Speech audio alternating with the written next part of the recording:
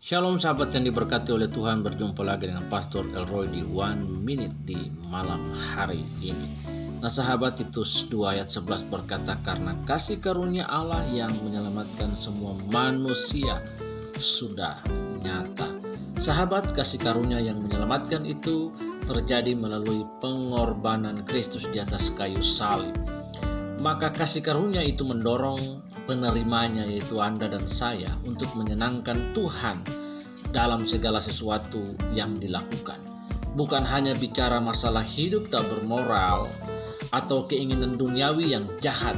Bisa saja orang yang tampak baik-baik tidak memiliki tempat bagi Tuhan dalam hidupnya.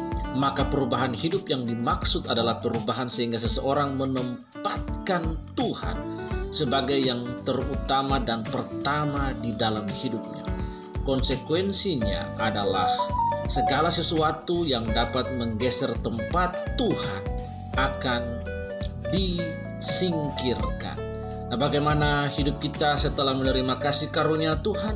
Adakah yang dikikis dan adakah yang bertumbuh?